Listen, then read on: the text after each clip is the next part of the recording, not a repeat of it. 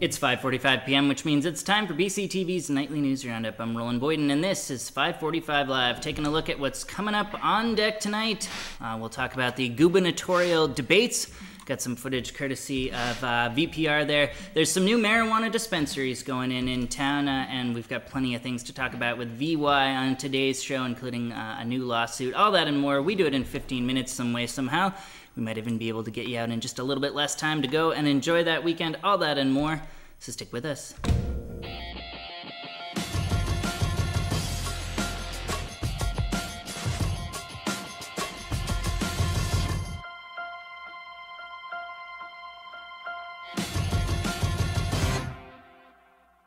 Started sailing in 1967. I was in Stowe, Vermont. It happened that the head of Stowe Prep, this gentleman's a professor, came that morning before we got out of the house and said, who wants to go sailing? We played with that boat all day. I ran into trees, ran into sandbanks. But I was thoroughly hooked. Welcome back to this September 14th, 2012 edition of 545 Live. I'm Roland Boyden, and I'll be taking you through the next 15 minutes into the world news. That's Morgan Freeman, uh, who today made headlines above uh, all else, including the tragedies in Libya, uh, by dying. Or so said social media. Turns out Morgan is just a, another victim of uh, the death hoax phenomenon, joining the likes of Bill Cosby and Eddie Murphy uh, whose so called deaths have uh, permeated the social media stratosphere. Uh, that's Freeman talking about uh, his love of sailing, which uh, apparently was fostered in Stowe, Vermont. Hard to believe that our little landlocked state could get anybody into sailing, but that is the case. All right, uh, we'll move on here and start with our Reformer Roundup, where we sum up all, all the latest happenings in Brattleboro's daily newspaper here. All right, let's start it off. Make sure everybody knows what we're talking about here by putting that big uh, Reformer Roundup graphic in. All right, let's start it up. Frank Caraballo, who's been uh, sentenced to 16 years in prison for distributing crack cocaine, uh, he's by the feds. In addition, he's uh, facing a murder rap. Uh, that's a charge in connection to the 2011 shooting of Melissa Barrett. If he's convicted, he could spend the rest of his life in prison. And on to Entergy, which is now suing Vermont. And I've got a graphic for that as well. Yep, suing Vermont uh, Yankee, uh, claiming that the new tax they're putting in is inconstitutional, unconstitutional. Uh, Entergy claims that the tax, which increases its obligation to the state from 5 million to an estimated 12.8 million, uh, is an attempt by the state to blackmail Entergy into shutting the plant down in the wake of its 20-year extension from the Nuclear Regulatory Commission. And to close with our uh, last slide here. Last week, we reported that Bellows Falls attorney Christopher Moore could find himself on the ballot with a GOP next to his name even after losing the Democratic primary. And although Moore did receive enough write in votes to become the GOP's candidate for the seat, he has declined the nomination for the Vermont House of Representatives. Moore unsuccessfully ran for the House as an independent in 2010 and lost the Democratic nomination to incumbents Carolyn Partridge uh, and Matthew Trieber. That's our Reformer Roundup, summing up uh, all the latest happenings uh, in Brattleboro's newspaper.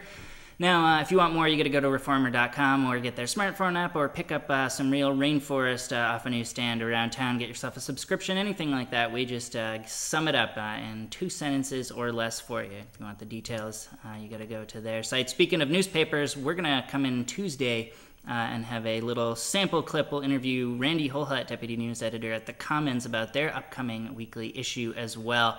All right, that's enough chit chat on BCTV's multimedia uh, partnerships across town. Let's uh, jump into our next story, which will include. Let's get rid of. Yeah, there we go. There's a good close up on me. All right. Uh, the race for governor of Vermont is heating up with the first of the debates between Democratic incumbent Governor Shumlin and Republican challenger Randy Brock taking center stage on VPR Wednesday night. Among the topics was uh, that of FEMA's role in rebuilding a post Irene Vermont, in particular the state hospital system, uh, and uh, a federal agency Brock contests the governor should never have relied on. In the event that the amount that we get from FEMA, which does seem to be uh, likely to be significantly lower than what was anticipated originally, how well prepared we are to continue and to institute a corrective strategy without harming our economy, without harming our bond rating, and whether or not we have a contingency plan that, that makes sense. This coming just a day before the governor held a press conference in Waterbury to announce uh, aggressive action in taking the VSH, Vermont State Hospital, plan forward. FEMA will continue to work with us. We will continue to beat on them. But I am making the decision to push ahead on the construction of the new hospital at Berlin by breaking ground before snow flies to get us out of the mental health crisis that we're in. Any other approach would be unacceptable. Governor Shumlin, courtesy of his YouTube channel, youtube.com slash vtgovernor. Next, uh, on to our newest feature, our VSP report, uh, courtesy of the Vermont State Police and our contact up there, Stephanie Desario, who's been sending us the latest bulletins for that. We'll go back into the newsroom. Let's see if I can use our fancy transitions yet again. There we go. Back into the newsroom, and uh, this time, instead of a little Reformer Roundup graphic here, uh, we're going to try and jump right into the Vermont State Police stories, and we'll start. There we go with a human skull. Uh, the Vermont State Police reports uh, say that a human skull that turned up during a state police canine search in February um, have prompted them to now return to the investigation after Frozen Ground deferred the original follow up search. In the interim, anthropology experts from the University of Texas have determined that the skull uh, belonged to a 25 to 40 year old woman of Asian descent. That's the information they could glean from that.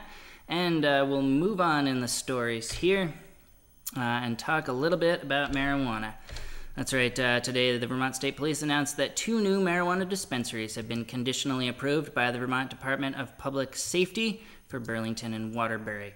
That's uh, a little look at our reform uh, at our Vermont State Police report, I should say, uh, the latest addition to the 545 Live, we can say it, formulaic roster, adding it to the formula. All right, let's go uh, back into our uh, select board report is we did have a special meeting on Tuesday. During that meeting, which was actually uh, concurrent to our last broadcast of 545 Live, we did a little sp- split screen in there action. Uh, during that meeting, the Brattleboro Select Board discussed the new $14 million police and fire station project, agreeing to vote the project in at their regularly scheduled meeting next week. And in addition, uh, the board continued their discussion of the role of social media in gathering public input for board meetings.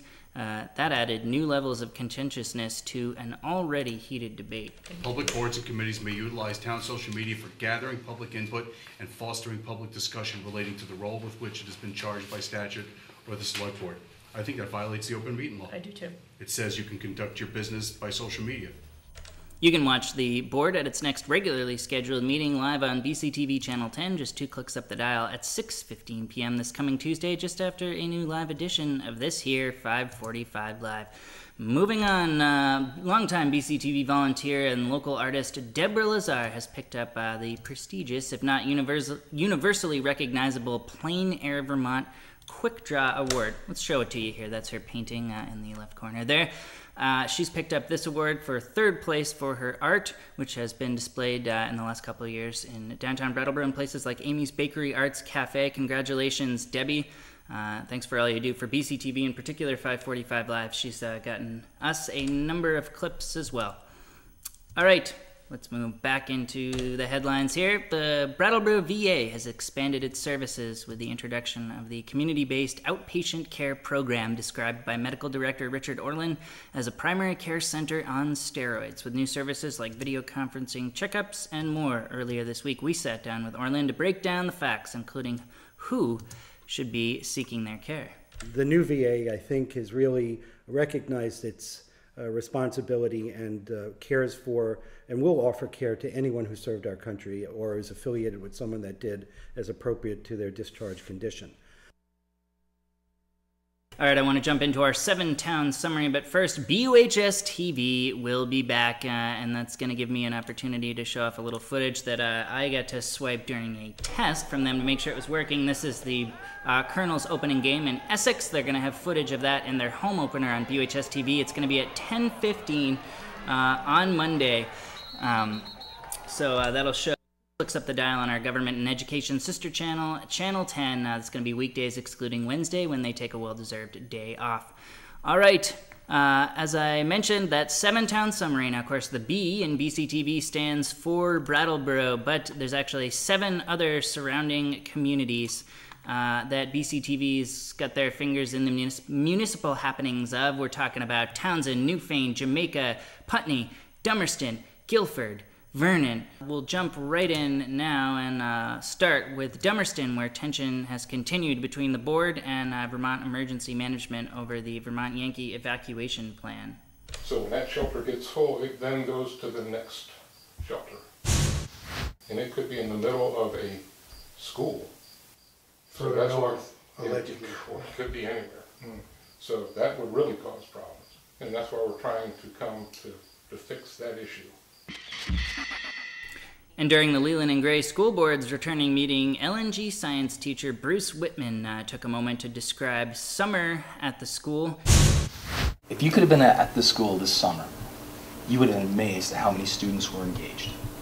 From Seek to soccer to performing arts to the Explorers Camp, which is over at Townshend this year, to Tom Connor's Chinese students. They, this place was just hopping. The board also heard from a group of concerned teachers and parents about protecting the school's ancillary music programs. All those meetings uh, can be found in their entirety at brattleboro.tv.org in uh, video on demand format, which includes the uh, delightful feature of being able to skip ahead and jump from uh, agenda item to agenda item. Of course, they also show uh, on BCTV. Those will all be on our government channel, Channel 10. Uh, a full schedule also at that brattleboro.tv.org website. We've been talking about, all right, before we wrap up, uh, we're going to talk about our Leahy report. Vermont's tenured uh, U.S. Senator uh, is hot on the trail of the Citizens United decision, which uh, allots the same uh, uh, abilities as individuals to large corporations. Uh, he's got his own feelings on that. Let's take a look. I think few Supreme Court decisions in American history have been so corrosive for our political process. Corporations are not individuals in that regard. Otherwise, having elected General Eisenhower as president, we maybe we would be electing General Motors as president. It makes that much sense. It makes that much sense, so says Senator Patrick Leahy. All right, a few notes before we wrap. Uh, I'm going to personally, personally invite you to BCTV's annual meeting. That's right. Uh, you can see we've got uh, the invite here. Let's hide my face while uh, I'm talking. So we're going to overdub some more great, more smart sounding sounds. All right. Uh, it's going to be Wednesday, October 3rd, from 6 to 8 p.m. at the Brattleboro Museum and Art Center. Their address 10 Vernon Street. And boy, are we pulling out all the stops. We're going to engage uh, the uh, political talk show host David Pakman as our speaker. Uh, our guest speaker. I'm also going to whip out a series of uh, montage clips looking back at all the BCTV footage from the year. We're going to be handing out awards. It'll be an exciting time, uh, complete with plenty of food and beverages. All right, that's full it, everybody. Thanks for checking in with us. But uh, be sure to tune back in Tuesday right here on Channel 8 at 5:45 p.m. for another live broadcast. We'll get you plenty of footage from that flotilla Our River Runs Through It protest that's happening tomorrow, uh, where folks are gonna tr- make the trek uh, down the Connecticut River in kayaks, canoes, and boats to Vermont Yankees waterfront property to dump ice in the river, symbolically cooling it after the discharge from the plant has heated it to unnatural levels. All right, thanks to everybody that makes 545 Live tick the way it does, including our content specialist, Deborah Lazar. Congrats on your win on that painting. To all of you out there who watch 545 Live, making uh, it worth producing. To Rich Melanson, who gleans that footage uh, out of the towns in the uh, seven town summary region outside BCTV for that seven town summary that we do. Uh, he's the one behind all that footage. Uh, and everybody else that makes 545 Live tick the way it does, like our new staff writer, Justin Harris, all of you out there are fantastic. I'm talking way too much, so I'll just say for BCTV and 545 Live, I'm Roland Boyden. Night, everybody.